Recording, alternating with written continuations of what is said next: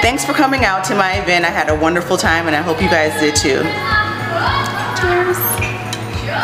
Cheers.